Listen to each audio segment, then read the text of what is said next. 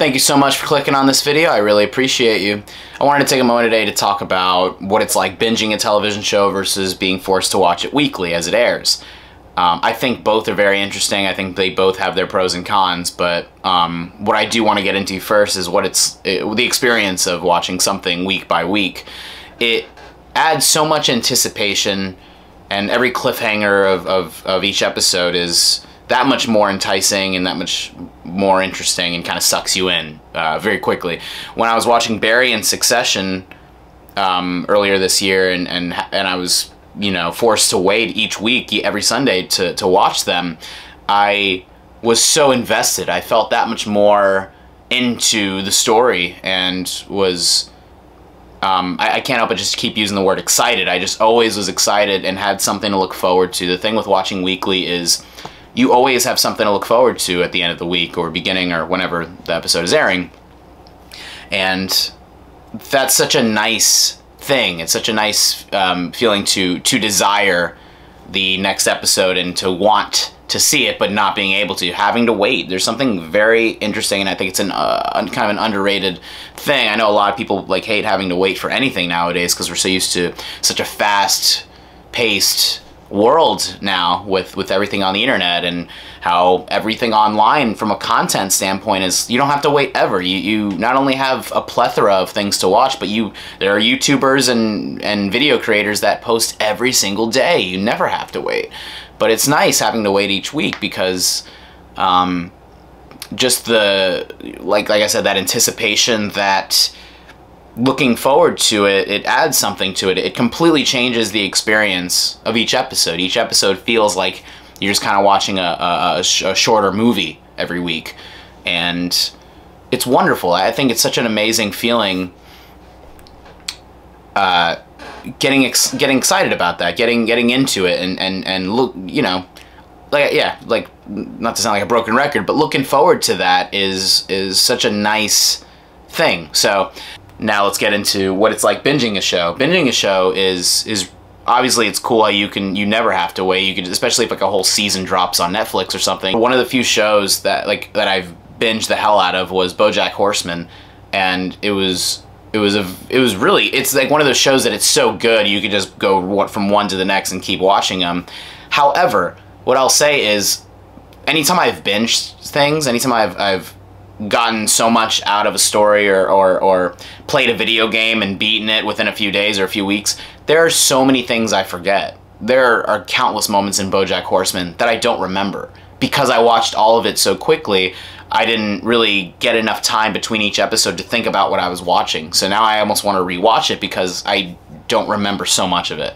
You know, I, re- I watched the first season when it aired in like 2016 or something, so that was like seven years ago, and I binged it, and never watched it again. Maybe maybe rewatched a little bit of it with, with people here and there, but I, I there there are so many little details um, that I do not recall at all, and and that's um, that's the downside of binging is is I you know while while I have a reason to rewatch it and have that motivation to oh well now I want to see it again I kind of like the feeling of of remembering things a little more easily because I'm I'm having to to think about each episode, right? So that was an example of that. When I played Red Dead Redemption 2, I beat that in like two weeks. I think I was doing, uh, I was working at Guitar Center at the time, and after every single shift, whether I was got out early or whether I closed, I sat and played that game for at least six to seven, eight hours each each session playing Red Dead 2 because I was so into that game.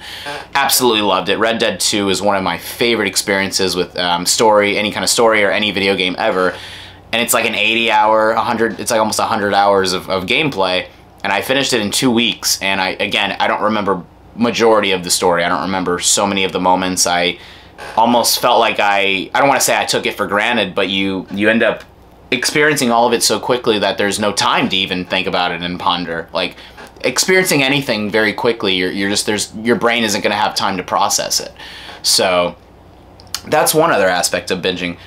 One the plus about binging, what's really cool about it is it's as, it's as if you own the book that the author has given you. You're you're there's no one stopping you at each chapter. Watching things weekly is basically as if, if you had Harry Potter or any kind of story and you were forced to only read one chapter a day or one chapter a week. That would be pretty rough Uh, I have memories of, of staying up late and having a flashlight on my on Harry Potter and the Chamber of Secrets because I was so into that book, and I can't imagine someone like forcing me to wait a week between each chapter. So that's the thing with binging is you don't really have to, you know, there's no stopping you and there's no, and you, what's funny is with binging, you do still have the option to like watching it, watch it whatever you want. You know, you don't have to watch it all at once. We're all gonna do that probably because why not? But um, you still do have that option to like every, just save it for every week if you really wanted to.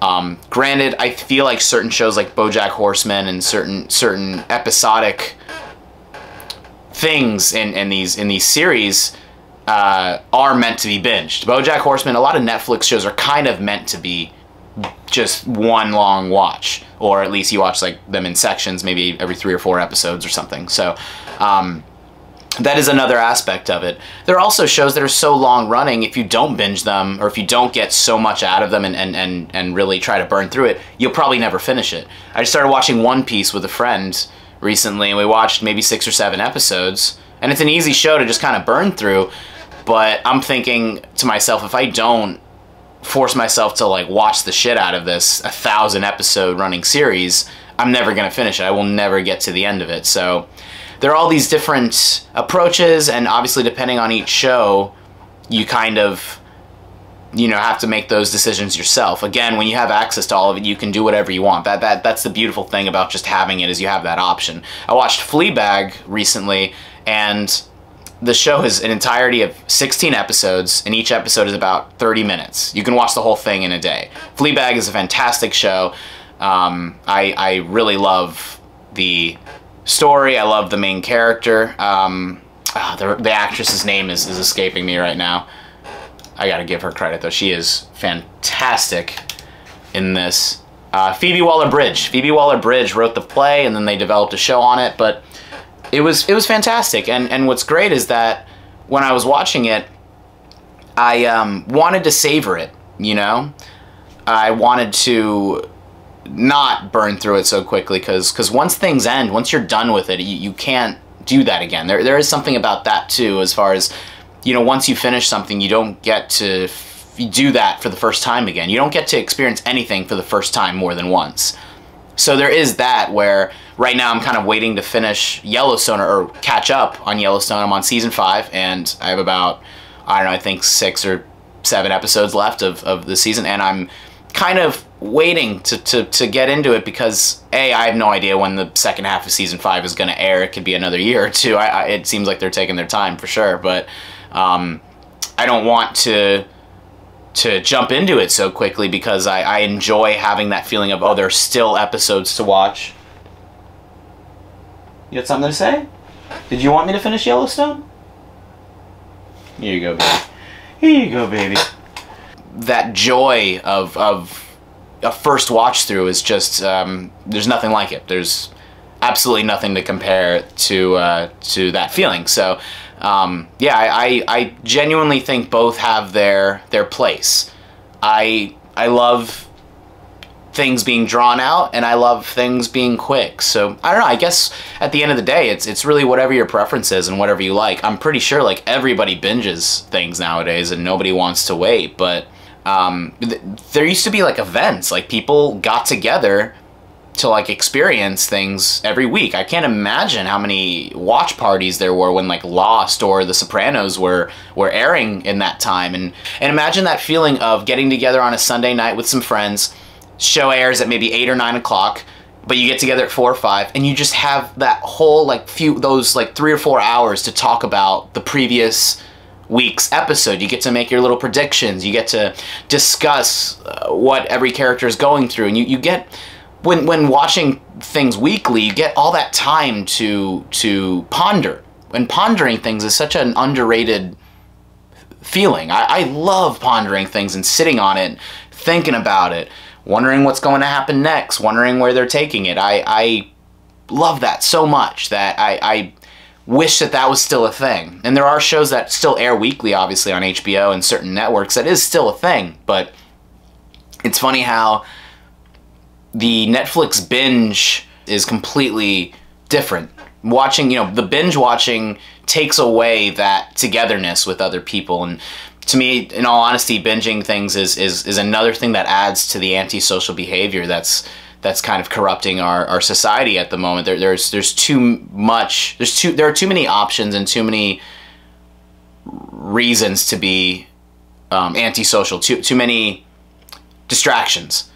And I think that's I would put that along with it when you binge watch something and you can just like burn through a whole series by yourself. Why would you want to wait for other people? Why would you want to, you know, sit and be patient on your own. You, you wouldn't. You're going to experience it all and just kind of burn through it by yourself. And that's a magical thing. Too. That's a really wonderful feeling too. Just having your own solo like watch through of something or your own solo experience. But the togetherness of these things is is something that I miss. Something that I that I kind of want to do again. When Breaking Bad was finishing up airing in 2013, like I'll never forget watching the first the first episode of the second half of season 5 with my friends and we had to wait like a year and a half or something like that. You had to wait. We had to wait so long for that. I'm not going to spoil anything. Obviously, if you haven't watched Breaking Bad, are you living under a fucking rock? But I don't want to say anything because the way season, the way the first half of season five ends is one of the greatest cliffhangers in television history, and the unhinged excitement that we all had for that second half beginning um, was there was nothing like that. Like we were all like so in it and so excited. I was watching it with two, my two best friends, two of my best friends, and um, that that was that was so wonderful. And you can't do that if you watch Breaking Bad now and you can just burn through the whole thing. You don't get to wait, and you don't get to like when you have a whole series to, to burn through. There's there's no there's not going to be a single moment of of looking forward to it and um, and you know like I said that anticipation of it so that was really nice. I, I do I do miss that and I do like that. And I think all I'm trying to say with this is, you know, there's nothing wrong with, with waiting to watch things and there's nothing wrong with, with not feeling like you have to to get through it so quickly. You don't have to binge everything. So yeah, um, I just wanted to talk about that. And uh, yeah, if you're like me, you you might love slowing down uh, a watch a watch through of a series. So I don't know. Do do what do whatever you like, I guess. Obviously, but just something to think about. Something to think about as far as uh, forced patience is is a very wonderful thing and uh, something that not enough people think about. I think so. Anyway, uh, enjoy things however you like. I uh, just wanted to share some of my thoughts on that. I appreciate you all watching. Thank you so much.